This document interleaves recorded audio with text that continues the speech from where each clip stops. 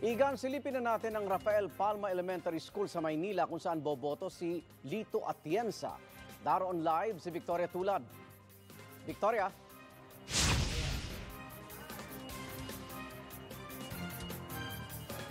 Nandito tayo sa Rafael Palma Elementary School sa Maynila kung saan nakatakdang bumoto si Vice Presidential at candidate at ah, House Deputy Speaker Lito Atienza mamayang tanghali. Si Atienza ang ah, katandem ni Senador Manny Pacquiao. Kanina, mga alas 5 pa lang na madaling araw, ay mayroon ng mga botante na dumating dito sa paaralan. Ang sabi ng mga nakausap natin, gusto nila na mauna para kung sakali man magkaroon ng problema ay madali ring maayos at mabilis din silang makakauwi. Pero bago niyan ay naging maaga yung ah, paghahanda dito sa paaralan. Bago mag alas 4 na madaling araw, dumating na yung mga miyembro ng Electoral Board para kunin ang mga balota.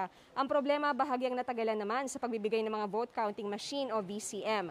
Ayon sa principal, anim dapat ang deso nila. Yun yung mga authorized persons na magdidistribute ng VCM. Pero dalawa lang ang dumating kaya sila mga staff ng paaralan ang nag-distribute. Dapat daw sana ay mas maaga ang distribution dahil alas 6 na umaga ang botohan.